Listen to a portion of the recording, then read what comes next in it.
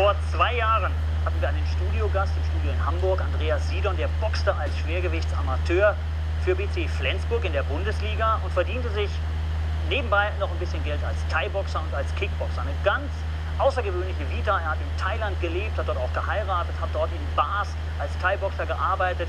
Jetzt ist er Profiboxer geworden. Er hat vorgestern in Prag, warum in Prag, wird er uns gleich erzählen, seinen zweiten Profikampf absolviert. Nicht gegen irgendeinen, schon gar nicht gegen Fallobst, sondern gegen den größten und schwersten Boxer der Welt. Das ist verbrieft. Der Mann steht im Guinness-Buch der Rekorde und Boris Puscharski zeigt uns, wie das Ganze ausgegangen ist. Der Ort war eines besonderen Spektakels würdig. Das Luzerner in Prag, ein altes Theater am Wenzelsplatz. Für den ersten Profiboxabend seit Jahrzehnten hatten die Veranstalter einen ganz besonderen Kämpfer verpflichtet, Nikolai Walujew. 2,17 Meter, 147 Kilogramm, 19 Profikämpfe, alle gewonnen, 17 durch K.O. Viele hielten seinen Gegner Andreas Sidon vorher für verrückt, doch Sidon hat schon immer gegen jeden gekämpft. Als Kickboxer brachte er es zum Weltmeister. Weil ein Kickboxer kaum etwas verdient, wechselte er zum Boxen und das erfolgreich. In diesem Jahr ist er mit Magdeburg deutscher Amateurboxmeister geworden. Doch nun dies, der erste Profikampf, ausgerechnet gegen Walujew.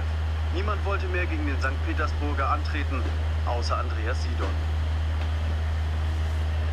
Eher mitleidig betrachtete das Publikum den mutigen, aber scheinbar aussichtslosen Versuch des Davids gegen Goliath bestehen zu können.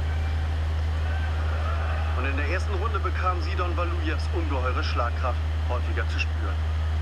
Für seine körperlichen Ausmaße ist der Russe erstaunlich beweglich und Sidons Taktik konnte nur lauten, irgendwie durchhalten. Eine Runde, maximal zwei gaben die meisten im Saal dem Deutschen. Doch Sidon verschaffte sich mehr und mehr Respekt, hielt sich Walujew auf Distanz.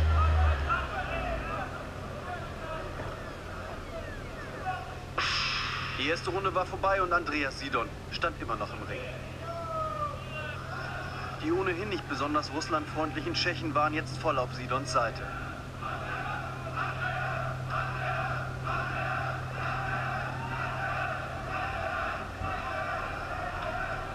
Der Kampf wurde immer offener. Für viele unglaublich, Andreas Sidon stand immer noch. Doch was in der dritten Runde geschah, ist wohl einmalig in der Boxgeschichte. Der Ringrichter unterbrach den Kampf, wollte ihn beenden und den Russen zum Sieger durch technischen K.O. bestimmen. Der Punkt war gekommen, an dem das Publikum ausrastete. Keiner verstand die Entscheidung des Ringrichters, nicht Sidon, nicht Walujew und am wenigsten die Prager. Nach mehreren Minuten entschloss sich Sidon einfach weiterzumachen und sein Gegner war dabei. Sie wollten beide wissen, wer wirklich der Bessere ist und keiner konnte sie daran hindern. Frenetischer Jubel für beide im Luzerner, für zwei Kämpfer, die nicht mal mehr der Ringgong interessiert.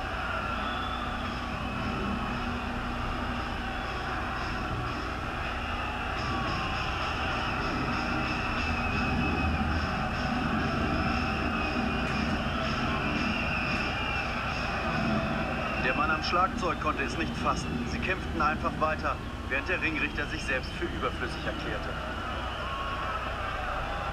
Drei weitere Runden rang Sidon mit seinem ungleichen Gegner.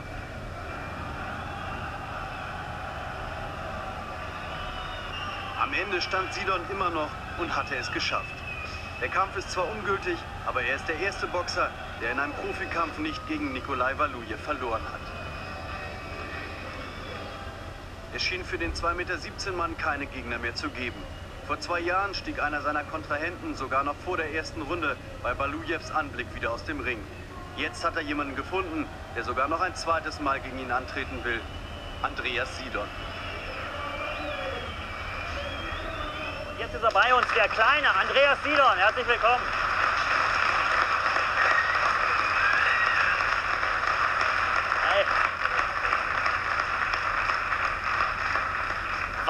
Was Sie da mitgebracht haben, ist ein blaues Auge. Das haben unsere Maskenbildnerinnen perfekt überschminkt. Aber das ist natürlich gegen so ein, naja, wie soll man das nennen? Ist das ein Mensch? Ist das ein ganz normaler Boxer oder ist das ein, weiß ich nicht, eine Mutation?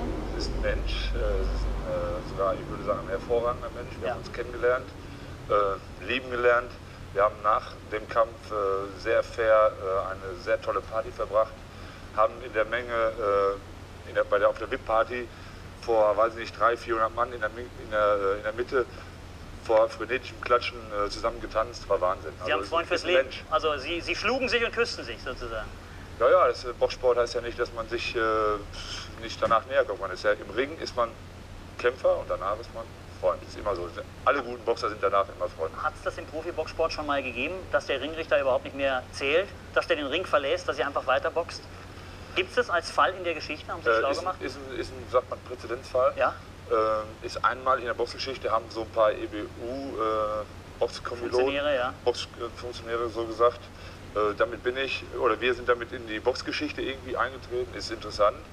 Ähm, Gibt es vor so nicht. Nee. Müssen Sie besonders mutig sein oder besonders verrückt, um sowas zu machen? Nach Prag zu fahren, um gegen diesen Russen zu kämpfen?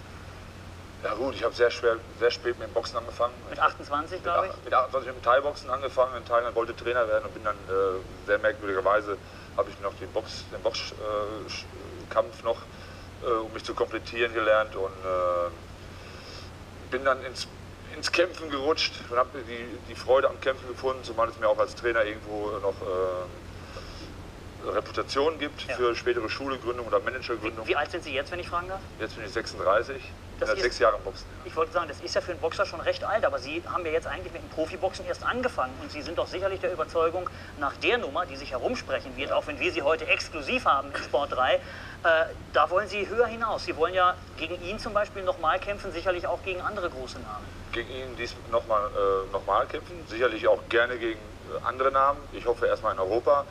Am liebsten erstmal gegen die ganzen guten Boxer, äh, Schwergewichtsboxer, die in Anführungsstrichen guten äh, in Deutschland. Sie gehören keinem Boxstall an. Sie gehören nicht zum frei. Kohlstall oder Sauerland.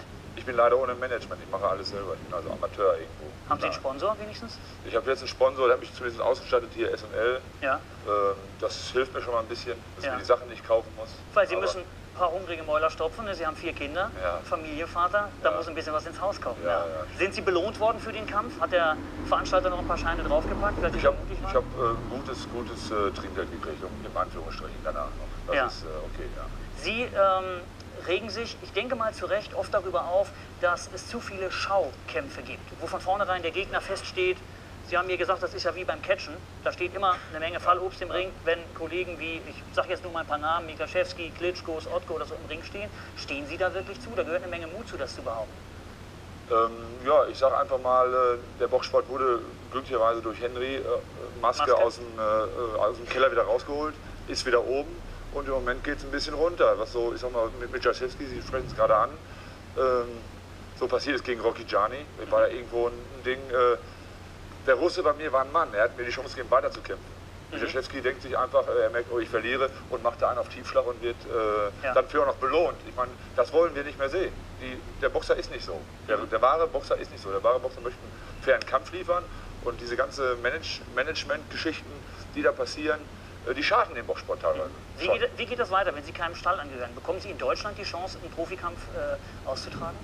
Äh, ich bekomme sicherlich die Chance, ich manage mich selber. Ich hoffe, dass ich vielleicht den Herrn Sauerland, der für mich als äh, seriöser äh, Boxpromoter in Deutschland und in Europa in Frage, nur in Frage käme, mhm. dass, der, dass ich den interessieren kann mit diesem Auftritt mhm. und äh, auch vielleicht einen guten Trainer wie den Herrn Wegener bekomme, um dann im Stall von, von Sven Ottke zu sein. Ähm, und äh, das wäre schön. Sie haben in Prag den Gong nicht gehört, der war vielleicht auch ein bisschen leise, der Mann am Schlagzeug. Ich hoffe, dass Sie die Uhr immer lesen können, dass die Augen nie so blau sind, dass Sie es nicht mehr erkennen können. Dankeschön, dass Sie hier waren. Wir haben nur ein bisschen wenig Zeit gehabt, das hat uns der SV Werder eingebrockt. Dankeschön, Andreas Sidon, für Ihren Auftritt. Ja.